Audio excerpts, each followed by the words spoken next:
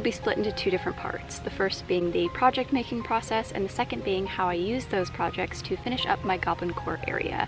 My last video was a woods makeover and I told you guys that I wanted to make a few more projects to finish it up so that is what this is.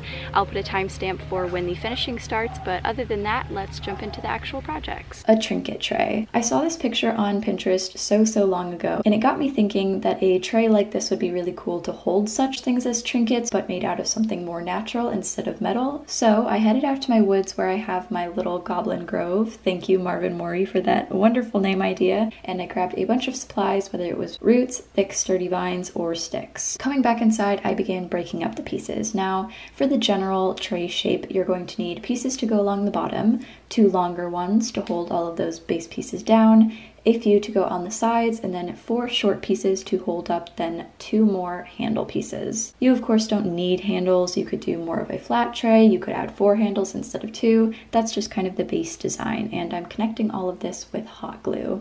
You could do it all connected with vine, all connected with string. You could do a specific wood glue. It's up to you. I just thought hot glue would be the most easiest and quickest way, but still also used a vine to wrap around and kind of give some more greenery to it in the end. I made this for trinkets to hold little rings or bracelets, dried flowers, things like that, but you can make a bigger size for plants or books or magazines, really anything. It just depends on the space or what you want to use with it. Definitely a lot of different shapes and sizes you could do. I think sort of like an octagon or triangle shape could be really fun in the different ways that you break up the sticks.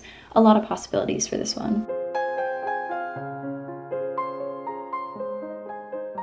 Recycled paper. There are so many ways to do this project, but I broke it down to what I think is the most simplest method, and here's how you do it. I knew I wanted to dye my paper naturally, but if you're using food color or paint, skip a few seconds ahead. I went outside and grabbed some purple heart, chopped it up, and poured a few cups of boiling water on top so that I could steep it. But with that aside, I moved on to the main part, which is ripping up the paper. The easiest way to do this is to put your paper and water in a blender and make the pulp that way, but you can also use scissors or these kind of crafty paper cutters. I did it by hand just because I wanted to use as few tools as possible and I just ripped it up until they were all about one by one inch squares, and then poured that plant water over top, or you can just do your plain water and let it sit for a few minutes in the heat, and then went ahead and ground it up to what it would be in its final pulp state. This doesn't actually take as long as you would think by hand, only about 10 minutes for 7 to 10 sheets, I think. And once your pulp is done, you're gonna wanna grab another dish and then put something down. You can do a towel, one of these mesh laundry bags, use a deckle, or even a piece of lace I find can work. I put my towel down though and put my pulp on top of it, flipping the towel over and pressing it down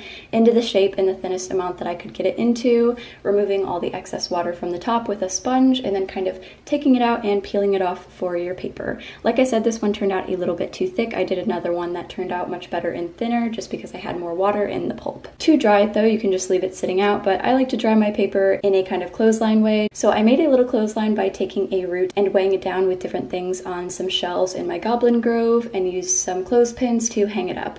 If you want to make sure it's completely flat, you can also put it under a book. Modeling clay. The base recipe for this is to have half a cup of water and add to that a half cup of salt and a cup of flour. You can, of course, make this a larger or smaller batch, just making sure that you have one part salt and water and then two parts flour. That being said, once you make it or before you actually mix it, you can also add some coloring. You could do a plant-based coloring, you could use just regular food dye, you could use acrylic or watercolor paint, you could even try to get some ink out of markers. I chose to do this after I mixed mine and kind of divided the clay into different parts so that I could make different things with the different colored pieces. But you don't necessarily have to color the dough either. You could totally form your shapes or whatever you're using it for and then paint on top of it after, kind of more like a pottery style. Whichever one you prefer, that is the base recipe and the different options for coloring trinkets. We made a tray for them, so I figured I'd show you how to actually make a few. The first one being some insect pins. Now, this sounds kind of gross, but the main concept is to paint, draw, color, whatever medium you'd like to use, a picture of some sort of bug, whether it be a butterfly or a dragonfly, a moth. I think you could even do flowers and it would be really cool. And to then cut out and either clear coat or leave plain before folding or kind of crinkling in a 3D way and pinning into a hairstyle. Like I said, this doesn't have have to be for hairstyle. I think they could be really cool in a corner in a wall, especially like the butterflies,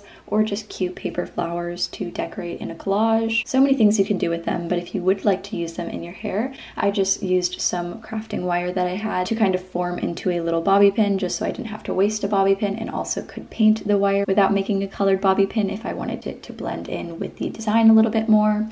So many variations with this, so many mediums you can use, different sizes of course. I personally really liked the dragonfly idea. Next is kind of hot glue dried flower projects. I've seen these kind of clear filled in flower or bead pendants and thought I could make some really cheap dupes for them with just a bit of wire, maybe an extra keychain or necklace chain that I had, and some hot glue. So I made the wire into a circular shape that I liked, put it on some parchment paper, put a dab of glue in the middle to kind of just secure the flower down so it won't move around, and then filled in the rest of the circle with glue, making sure not to do too much so that I can then fold over the parchment and make sure that it's completely flat and touching all of the edges so that the wire stays together, but doesn't have so much glue that it's overflowing or is unflat. You can either connect connect a jump ring through the hot glue, or if like me, you accidentally have a bit of a gap at the top, you can put it through that opening as well if you wanted to make it into a necklace. I also did the same concept, but just for a ring that I kind of wrapped some wire around and used this little yellow flower. Just make sure you try to use the thinnest amount of hot glue that you can so that it doesn't get so thick that it kind of blurs the image of the flower inside. With that being said, you don't have to use a flower. You could do beads, you could do printouts, anything you'd like. After that is just to kind of use the clay that we made earlier into things. I kind of made this little adorable, like dilapidated, sort of crooked and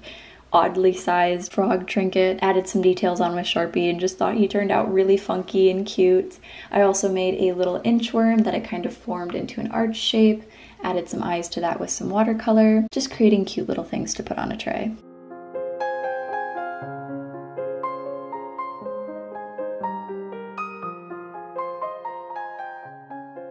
Mini candles. My inspiration for this was once again an Instagram picture I saw a while back of these soda cap mini candles. And after looking at my seashell collection, I thought these would also be a great container. So I thought it would be fun to do a few different variation of these kind of mini containered candles. So how I did that was grabbing the seashell and instead of having to buy candle wax and actually making the candle, I just lit a pre-existing candle that I had and let it burn for about five to 10 minutes so that I had a bit of the wax melted and then blew it out and dipped a bit of yarn into the melted wax to then kind of set in the center of the shell and then pour the wax over top of it to make it stick to the bottom. I used a popsicle stick to help me hold it up a little bit better and then once again relighted the candle and waited for even more wax to melt to pour on top of that and kind of finish it off. Once set, they are completely ready to use for decorative purposes only. I really want to emphasize on this, you do not want to burn candles without proper wick. This is just yarn. You want to use proper candle wax, a proper container for candles. You don't want to be burning certain types of metals and stuff like that. So these are for decorative decorative purposes only. With all of the projects being complete, I can finally add them to the space.